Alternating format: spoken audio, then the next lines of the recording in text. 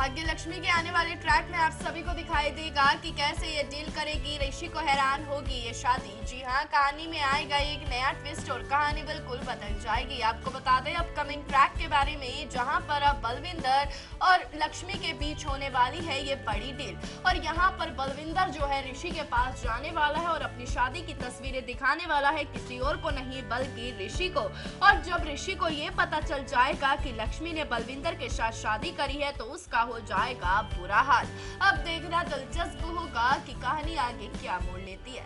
क्या होगा आगे शो की कहानी में, हम आपको जल्दी बताएँगे अपनी नेक्स्ट अपडेट में. तब तक करें और बने रहिए हमारे साथ। और आज ही हमारे चैनल को सब्सक्राइब करें।